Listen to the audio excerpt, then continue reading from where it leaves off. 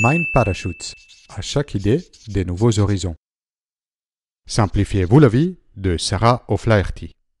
Vous ne vous identifiez pas dans un schéma du succès basé sur une énorme ambition et une hyperactivité constante? Alors, la méthode développée par Sarah O'Flaherty, autrice du livre Simplifiez-vous la vie, est faite pour vous. Cette méthode est construite sur des principes d'authenticité, de simplicité et de véritable connexion. Si pendant des années vous avez travaillé dans un environnement toxique, ou si vous vous êtes complètement dévoué aux autres, votre couple, vos enfants, vos collègues, ces conseils vous permettront de récupérer du temps pour vous. Cela bénéficiera à votre santé et à votre bien-être, ce qui d'ailleurs permettra d'apporter encore plus aux autres dans les long terme.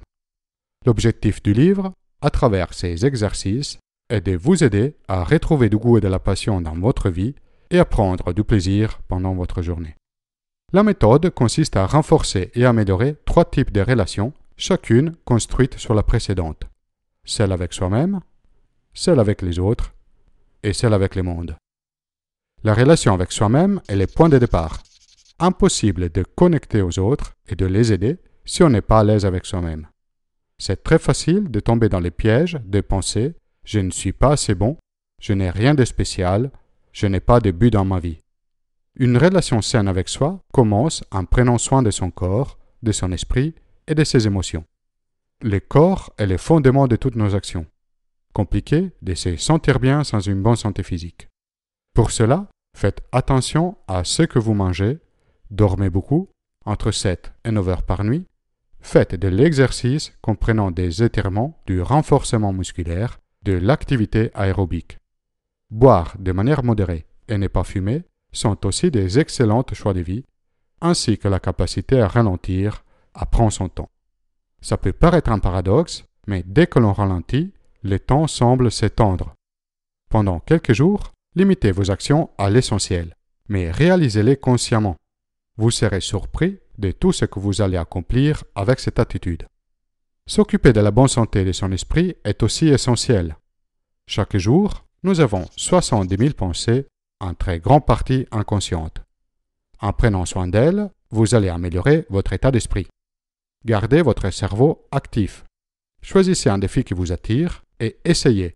Résoudre des puzzles logiques, apprendre une nouvelle langue, lire un livre. Méditez. La pratique de la méditation renforce la mémoire, la capacité de concentration et réduit le stress.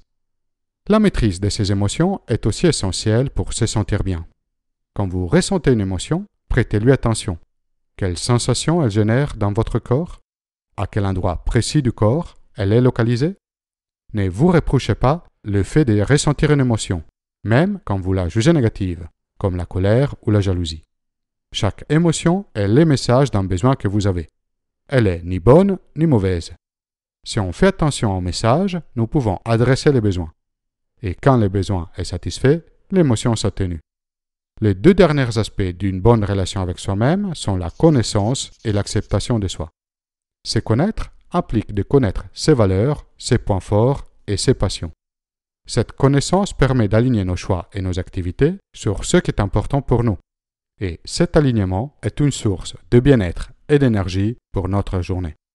S'accepter implique de connaître et donner la juste valeur à toutes nos qualités, Souvent, nous n'avons aucune difficulté à faire de l'autocritique, mais nous avons beaucoup plus de mal à faire des autocompliments. Si nous apprenons à focaliser notre attention sur les aspects positifs, peu à peu, les pensées et les perceptions négatives vont s'affaiblir. La relation avec les autres. L'homme est un animal social. Une fois que nous avons établi une bonne relation avec nous-mêmes, pour avoir une vie épanouie, nous avons besoin d'une bonne relation avec les autres. Nous faisons tous partie de plusieurs tribus, des groupes de personnes qui partagent un tempérament, des intérêts ou des occupations similaires. Nos tribus nous procurent un sentiment d'appartenance et de communauté. Faire partie d'une tribu qui nous correspond est extrêmement utile pour soutenir nos besoins et nos valeurs. L'inverse est vrai aussi. Fréquenter un groupe social qui a une influence négative sur nous, qui s'oppose à nos objectifs de vie, peut casser nos aspirations. C'est pour cela qu'il est très utile, de temps en temps, de se poser la question. Est-ce que les personnes avec qui nous passons du temps ajoute de la valeur à notre vie, ou plutôt nous freine, quand nous nous retrouvons dans ces cas, il est indispensable de considérer s'il vaut mieux abandonner cette tribu, ces personnes, ou au moins chercher une alternative qui réduit les impacts négatifs. Un autre aspect fondamental de notre relation aux autres est la connexion profonde que nous avons avec quelques individus. Avec le succès des réseaux sociaux, nous avons explosé les nombres de nos relations. Moi-même, je compte plusieurs centaines de contacts sur Facebook et LinkedIn. Mais la multiplication du nombre de ces liens n'a rien à voir avec l'effet de soigner nos vraies connexions.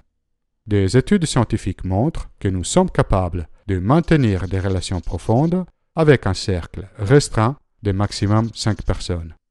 Ce sont les amis les plus proches, ceux sur qui vous savez que vous pouvez compter à tout moment en cas de besoin. Est-ce que vous avez bien en tête qui sont ces 5 personnes? Est-ce que vous prenez régulièrement du temps pour nourrir votre relation avec elles? La relation avec le monde. Une fois que nous nous sommes occupés de nous et de nos connaissances directes, pour vivre la vie à son maximum, nous devons rentrer en relation avec le monde, prendre le temps d'explorer et essayer de nouvelles choses. Tout d'abord, cela concerne l'environnement dans lequel nous vivons. Nous y cherchons en premier lieu la sécurité et le confort physique et psychologique. Au-delà de ces besoins fondamentaux, l'environnement impacte beaucoup aussi notre développement. Il peut encourager ou décourager les interactions entre les gens. Il peut influencer les comportements et la motivation à agir. Il peut impacter l'humeur. Voilà des caractéristiques de l'environnement qui peuvent améliorer notre vie. Une plus forte connexion avec la nature. Se retrouver dans un milieu naturel, ne serait-ce que quelques minutes par jour, influence significativement notre humeur. Avoir des choix. Pouvoir contrôler son environnement, ambiance lumineuse ou sonore, température, permet de réduire significativement le stress. Le support des proches. La proximité de la famille ou des amis intimes a des bénéfices importants sur la santé. Réduire les facteurs de stress, comme les bruits ou une mauvaise qualité de l'air. S'entourer d'une décoration plaisante, comme des œuvres d'art, une cheminée ou un aquarium. Aussi, l'envie d'aventure, d'explorer les mondes, impacte positivement notre bien-être nous ressentons tous un désir sans fin de grandir et d'évoluer. Rechercher de nouvelles expériences présente plusieurs avantages. Ouvrir son esprit, faciliter la rencontre de nouvelles personnes, alimenter la confiance et l'estime de soi.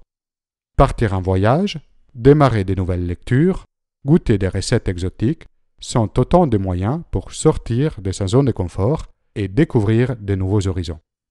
Mais l'aspect qui plus permet de s'épanouir et donner un sens à sa vie est de trouver son but. Cela ne signifie pas qu'une fois que nous les connaissons, tout sera simple.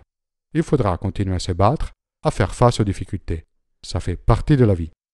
Et ce n'est pas nous qui choisissons notre but. C'est lui qui nous choisit. C'est lui qui nous attire, qui nous appelle jusqu'à ce que nous écoutons et que nous passons à l'action. Et si, malgré avoir cherché encore et encore, vous n'avez pas encore reconnu votre passion, il faut arrêter de se démener pour la trouver. Réservez plutôt du temps, chaque jour, pour vous-même, au calme. Pendant ce temps, remarquez ce qui vous attire, qui vous donne envie. Ignorez votre voix critique interne qui vous dit que vous n'avez plus l'âge, que ce n'est pas fait pour vous, et essayez ce dont vous avez envie. La passion d'une vie, notre but, correspond souvent à une manière à sa propre manière d'aider les autres. D'après Sarah O'Flaherty, autrice du livre Simplifiez-vous la vie, les développements personnels passent par l'effet de cultiver trois types de relations. Celle avec nous-mêmes, celle avec les autres et celle avec le monde. Êtes-vous prêt à prendre soin de ces trois relations? Quelles sont les difficultés principales que vous rencontrez et comment vous les adressez? Laissez un commentaire ci-dessous. Vous pouvez soutenir la production de Mind Parachutes en faisant donation vers le site Tipeee. Téléchargez la main carte de cette vidéo et de toutes les vidéos précédentes depuis mon site internet mindparachutes.com. Si vous avez aimé la vidéo, inscrivez-vous à ma chaîne YouTube et partagez la vidéo autour de vous.